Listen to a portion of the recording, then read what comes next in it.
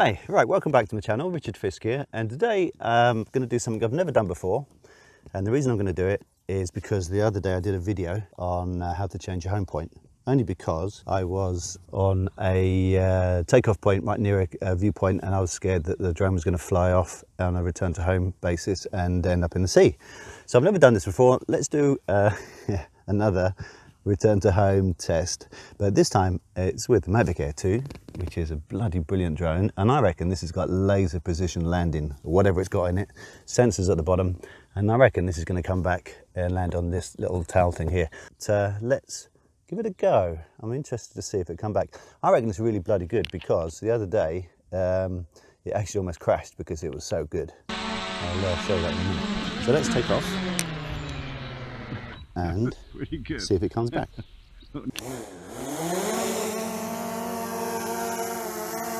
Let's uh, go off up the road, as it were, up the field.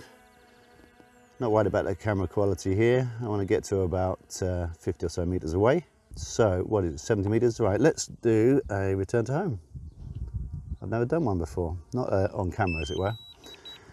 So, uh, I was talking the other day, check out my video from before, how to set the home point if you want to change it from where it took off from, uh, three ways of doing it, etc. So this one is going to be a bit more interesting just to see how accurate it is. And I've got, I've got an idea how to make this more interesting and more dangerous. So uh, here it comes. And we'll see, just point the camera down. I know it goes down naturally anyway. Um, hopefully it won't register the camera too close. Um, and I've also put on the screen here, you can see crosshairs. So uh, we can see just how accurate this little baby is. Down it comes. I'm just gonna let it do its thing. I'm hoping it's not gonna land on top of me. We will see. It's off slightly. It looks like it's gonna come down on top of my head, actually.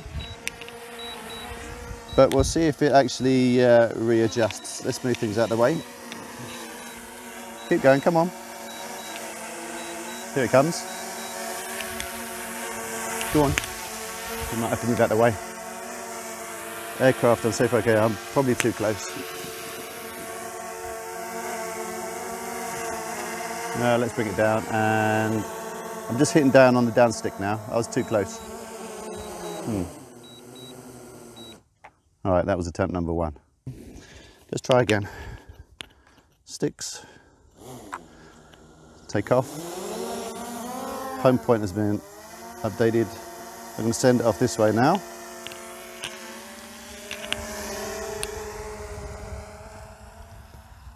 Here we go. I just want to get an idea of how accurate this is because like the other day I was a bit worried that it wasn't going to come back and you know land on the right point. All right, here we go. Return to home, take two. Here it comes. And we'll see, fingers crossed. I think it's going to land right about here.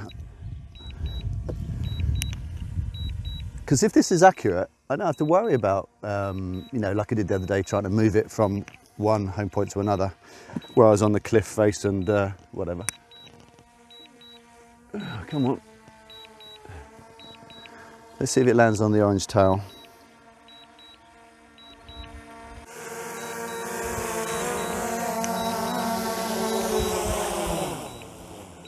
Well, that's pretty cool, isn't it?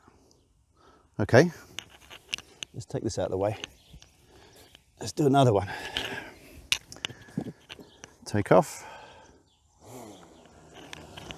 Right, I'm trying to listen for the little voice. Now, if any of you can find out or tell me why I don't get that voice anymore, the Mrs. I call her Mrs. DJI, telling me the home point has been updated, please check it on the map. But let me know in the comments below.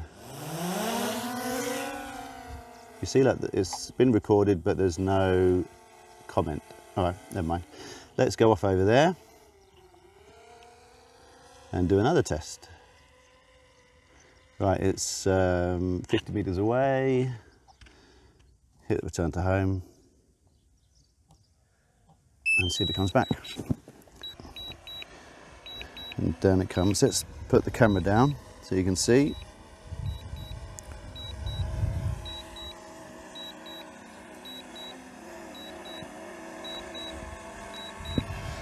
There we are. It may land on the camera. also, it comes down in the same orientation that it took off from.